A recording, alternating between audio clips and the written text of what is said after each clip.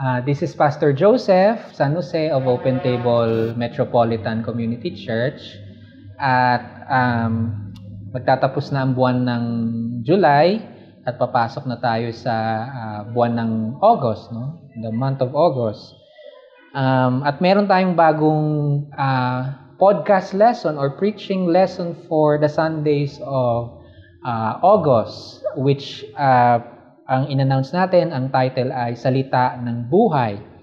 So we will be uh, doing a word study, no? Uh, titignan natin ang ilang mga salitang Hebreo, Hebrew words, at titignan natin ano ba ang kanilang kahulugan, paano ba sila ginamit in the biblical sense ng mga ancient writers, at ikukumpara natin siya sa kanyang equivalent na uh, Filipino na salita. At sa pagkukumparang ito, ano ba ang pwede nating matutunan uh, sa mga salitang ito, sa salitang Hebreo at ang ugnayan nito sa salitang Pilipino? Ano bang ano bang relevance nito at anong aral nito para sa ating buhay? So magsisimula to uh, for the for the month of August, for the Sundays of August. Pero uh, ngayon for this Sunday, ako ay magbibigay na ng uh, word study uh, bilang panimula sa ating bagong podcast. So dahil nga ang ating title ay Salita ng Buhay, uh, a word study uh, of some Hebrew words, Salita ng Buhay. So, buhay. So, my, my word study for this Sunday would be uh, a buhay. Buhay. Sabihin mismong salitang buhay. Um, sa Hebrew, ang salitang ang ang word for for life or buhay is uh, ka, ka, kaya. May, may, ano siya eh, guttural. So, very throaty yung word niya. Uh, ka, kai, or kaya. No, the, the root word is kai. Uh, and this means, in the Hebrew sense, ang ibig sabihin nito ay aktibong kumikilos. No? Aktibong kumikilos in reference to isang laman, katawan, uh, flesh. No? Nung tinignan ko nga to sa isang Hebrew concordance, ay, Hebrew lexicon, sabi doon, actively moving, and then close parenthesis, flesh. Isip ko kagad, laman. Aktibong kumikilos na laman. Yun ang ibig sabihin ng, siya, ng kaya na tinatranslate ng mga Bible translators as living root word is kai, which is life. Um, ngunit meron pang isang salitang Hebreo that is also referring to a more profound understanding of life, no? Mas mas malalim na ibig sabihin ng buhay at ito yung salitang uh, nefesh, no? Um, sa Genesis nga, no? Genesis uh, chapter 2 verse 7, um, sinabi doon na nung hiningahan, no, hiningahan ng Diyos ang tao, uh, hininga ng Diyos, hiningahan ng Diyos ang Adam, no, Adam, yung yung taong nila, ni ginawa niya, nilikha niya from Adama, no, sa mula sa galing sa pulang lupa. Hiningahan niya ito at ito ay naging isang kaya nefesh. At tinatranslate siya in English as uh, God breathed into the Adam and the Adam became living soul.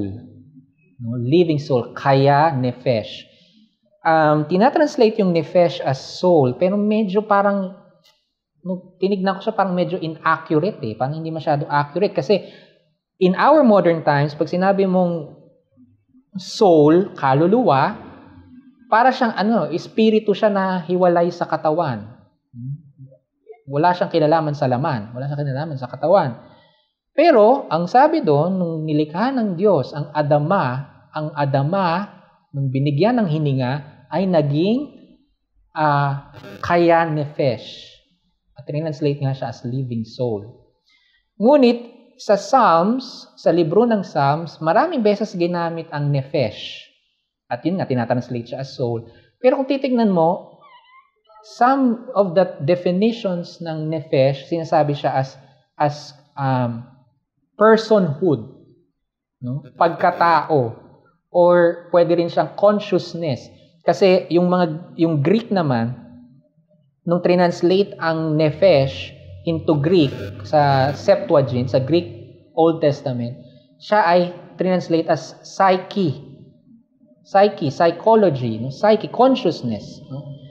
So, nephesh is a personhood. Personhood, consciousness na hindi hiwalay sa katawan.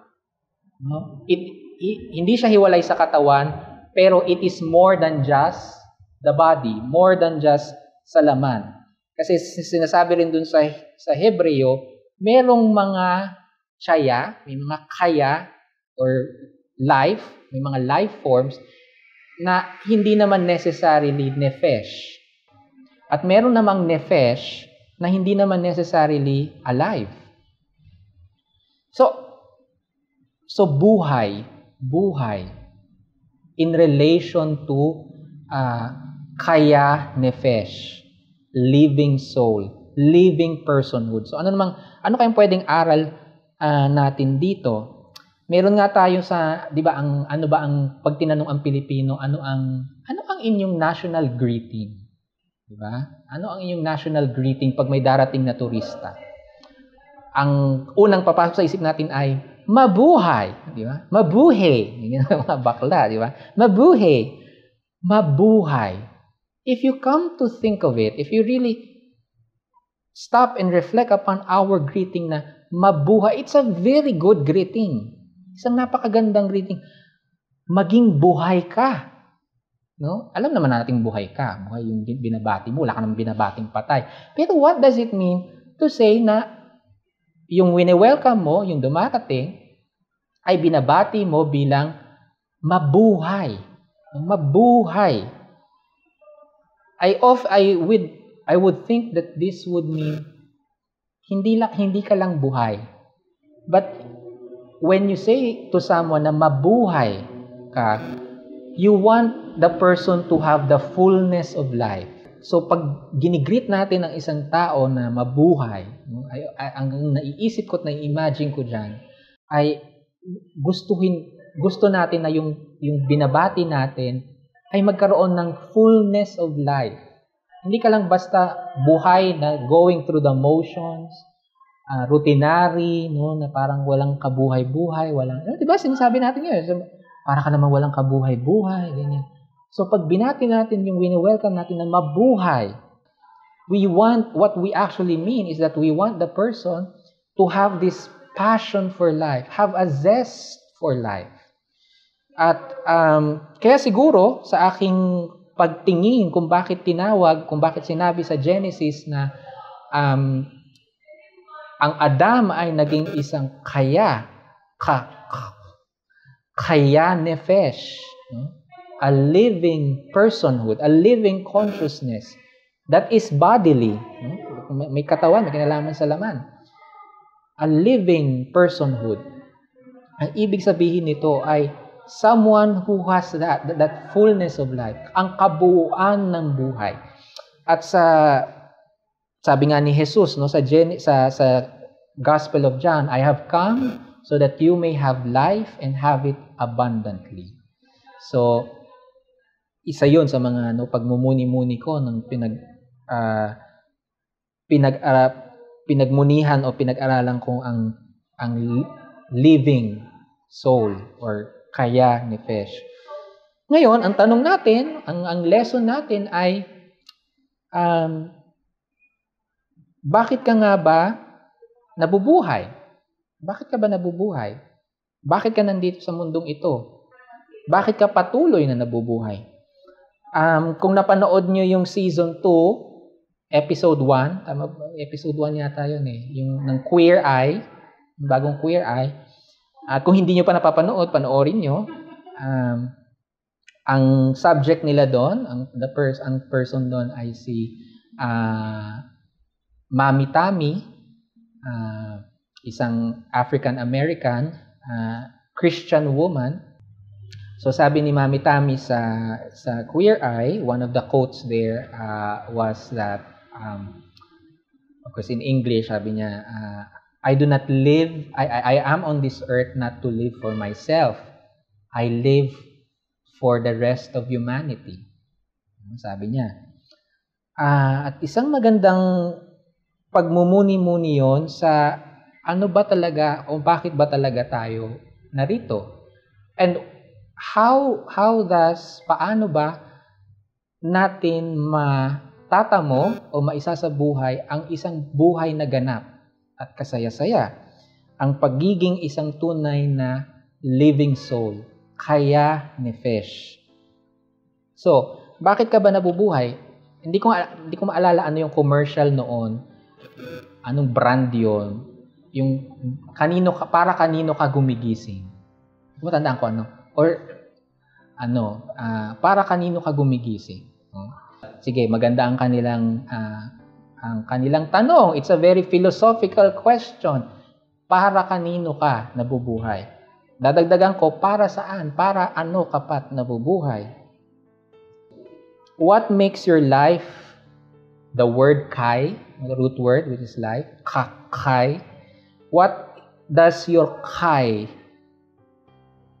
what does it make it truly meaningful? Pa, paano ba ito itunay na nagiging mahalaga at may kahulugan?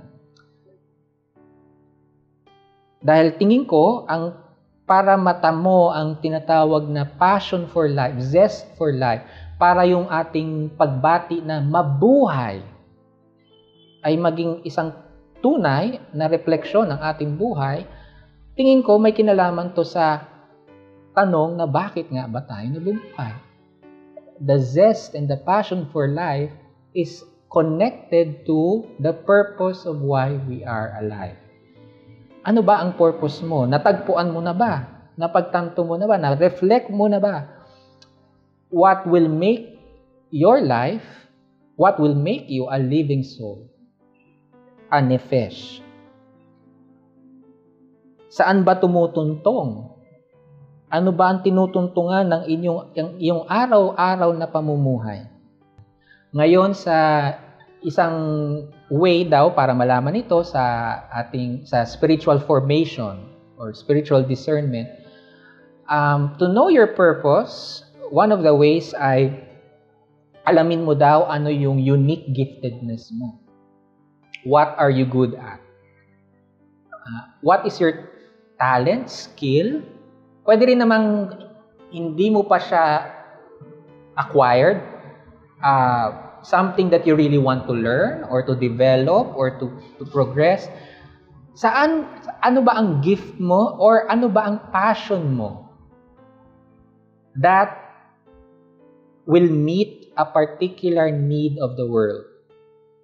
Ano ba ang iyong unique na biyaya na nasa sa iyo o gusto mong ma-develop na siyang tutugon, na siyang tutugon sa pangangailangan ng daigdig, ng daigdig na nangangailangan ng ng pag-asa, ng pag-ibig, ng katapangan.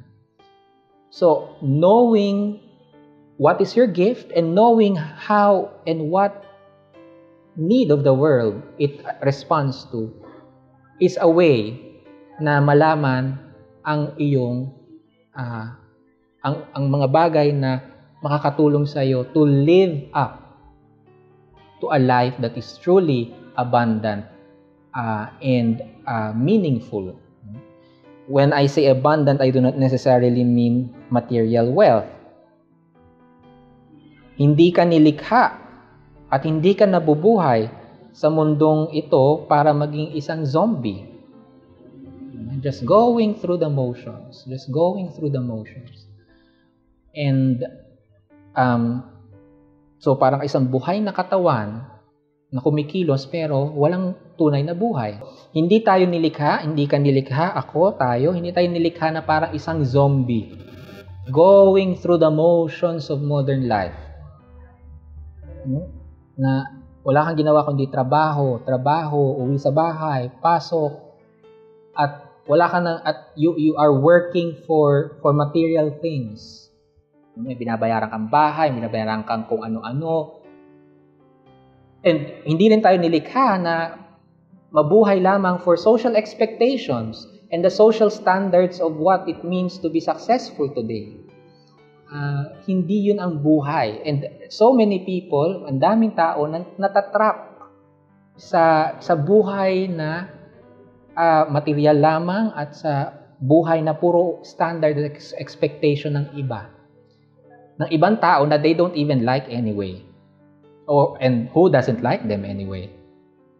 So, hindi tayo nilikhang parang mga zombie. Going through the motions. Nabubuhay para sa expectation at standard ng iba. Tayo ay nilikha, isang Adam, nilikha mula sa lupang pula, pulang lupa, hiningahan ng buhay, hiningahan ng ruwak, ang Espiritu ng Diyos, at naging isang kaya nefesh, a living person, a living consciousness.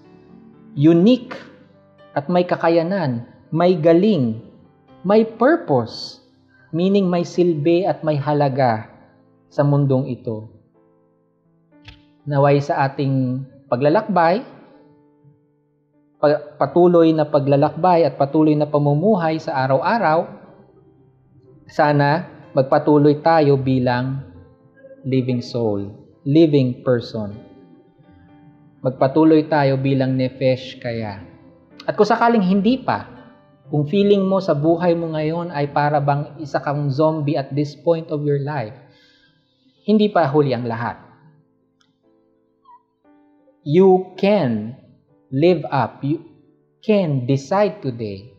Pwede mong pagdesisyonan today na simulang mabuhay ng bilang isang tunay na tao at a true living person. Tulad ni Mami Tami ng Queer Eye. Naway ang pagpapala ng Diyos na siyang lumikha sa atin bilang isang kaya ni Fesh ay sumainyo at naway mabuhay kayong lahat. Amen.